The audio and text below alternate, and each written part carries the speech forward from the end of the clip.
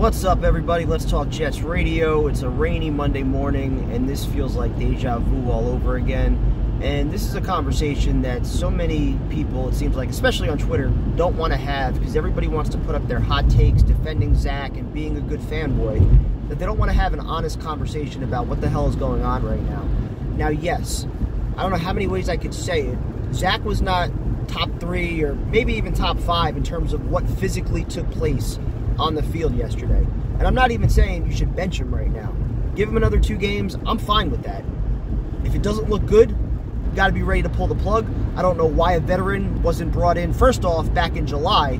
But then as soon as Rodgers goes down Tuesday morning, another veteran should have been in here. I don't know why that's like so hard for some people to understand. But there's a greater conversation that needs to be had. First, there's the, the mental and emotional letdown of losing your leader and the trickle down of that. And yes, clearly that affected everybody in the locker room.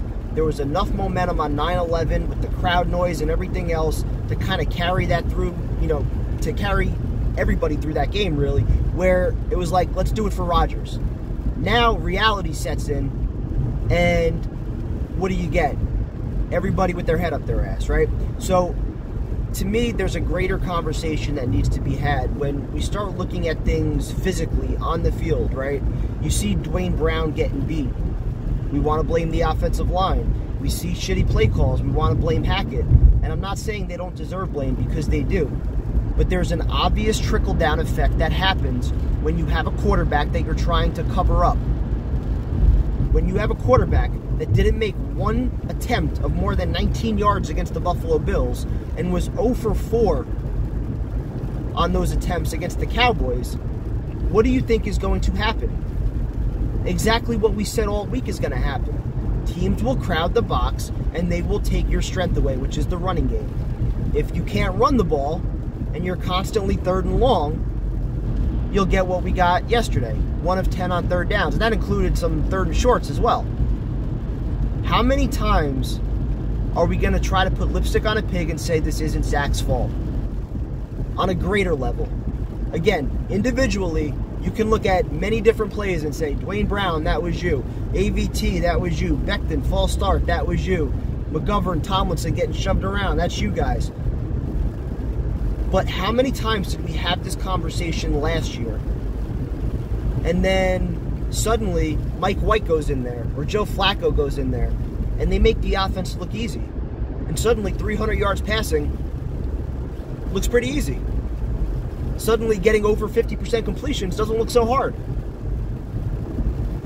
Everything when Zach is under center looks difficult. And he may not be the main culprit, but he is not doing anything to help. And that is a problem people don't understand that there is a lot more that goes into quarterback play than just ripping the ball and showing mobility.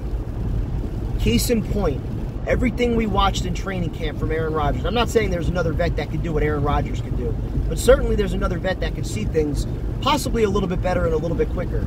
Processing speed, getting in and out of the huddle fast, getting up to the line quick, being able to do hard counts so you can see who's coming from the defense and who's not. Cowboys weren't even blitzing half the time it was Parsons on an island. So do you think Rodgers would say, hmm, I have probably two and a half seconds to throw this football before I'm getting my ass beat? I need to have a check down I can go to. Or I need to adjust the protections and put a tight end over there if the fucking coaching staff isn't going to do it. These are advanced level quarterback things that Rodgers was doing all of training camp that Zach is not capable of doing yet.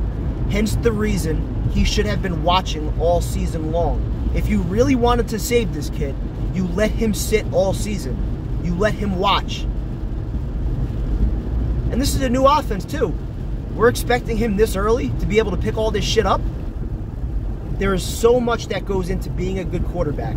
Getting the ball out quick, making the adjustments, knowing your checkdowns, reading defenses. You know, the, the one deep ball to Garrett Wilson, he locked on him the whole way. You know, even Romo pointed it out. Like, there there are so many ways that fans are just trying to simplify this. Well, oh, the offensive line got beat. Zach had no chance. It would have been the same shit with Aaron Rodgers. No, it fucking wouldn't have. The game the game plan completely changes with Aaron Rodgers. The game plan completely changes for the opposing defense with Aaron Rodgers out there. Everything changes when you have a quarterback that you have to respect on defense. Everything changes. So I can't sit here and say, oh, well, you know, this had nothing to do with Zach. We can blame everybody else but him. He was the least of the Jets' problems today. You're ignoring the obvious trickle down. And we've seen it before. We've seen it before. This is deja vu all over again. These are the conversations we've had for two years.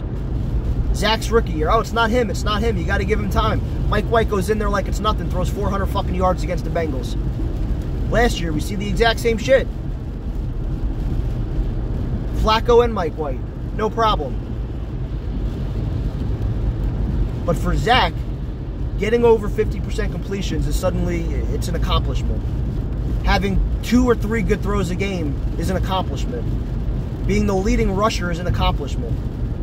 Not realizing that we can't run the football because teams know what to do when he is at quarterback. There is no threat of a deep ball. There is no threat of him beating you. Defenses are not worried. They don't fear Zach Wilson. So I'm willing to give him a couple weeks. Like I said, I'm, I'm not ready to just bench him right now. I don't think Tim Boyle's a better option. And if you're going to bring in somebody else, they're going to need a few weeks to pick up the offense. But at this point, I mean, to me, all the signs are there. I think we know where this is probably headed. And the crazy thing is, I actually think they can beat the Patriots. You know, watching them last night, although they, they did go down to the wire, they gave the Dolphins a, pretty solid effort at home. I, I do think they're beatable. But I also watched two quarterbacks last night face pressure, and they both managed to complete a shit ton of passes. Something for some reason we can't do. 150 yards, an accomplishment. It's a joke, man. You want to give this kid a couple weeks? I'm, I'm cool with it. Have another option ready. Right now, obviously, it's got to be Boyle if we have anything similar to what we saw from Zach last year in either of the two Patriot games, at halftime, Tim Boyle needs to be the quarterback. It's not very hard to understand. And then going forward, you need somebody else in here. People keep saying, oh, what, what veteran are you going to bring in that's going to make any difference? Give me somebody that can read defenses, that can get the ball out quick. Ideally, Mike White would have been the nice guy to have, but too late for that. Too late for Gardner Minshew now. Too late for Teddy B. So uh, I'm not going to sit here and tell you there's another option that's going to get you to a Super Bowl. That's that's being naive, but there, there are too many things that Zach is just not capable of doing yet. And it's sad that we have to watch this again and try to come up with all these excuses for him. Just because on the field he wasn't the number one reason that the Jets lost that game doesn't mean that there was an obvious effect with him being at quarterback and the game plan on both sides. On both sides. Clearly, the coaching staff has very little trust in him to sling it. Clearly, opposing defenses don't worry about him slinging it, and that's going to make you one handed. That takes away your running game, and that becomes a problem. And the fact that nobody was able to adjust protections to help out Duane Brown garbage. That goes for coaching, that goes for your quarterback too. At a certain point, you got to have that internal clock that realizes, all right, my left tackle's getting beat within two seconds. I need to have somebody I could check this ball down to if I sense pressure. And he doesn't have that awareness. He just doesn't. Stop trying to tell me otherwise. So hopefully they can get some shit together, pull out a better effort this week against the Patriots. I can't say I'm very confident, honestly. I, like I said, I think it's a winnable game. I don't think the Patriots are very good, but Belichick has had Zach's number his entire career, so we'll see what happens. Talk to you guys later.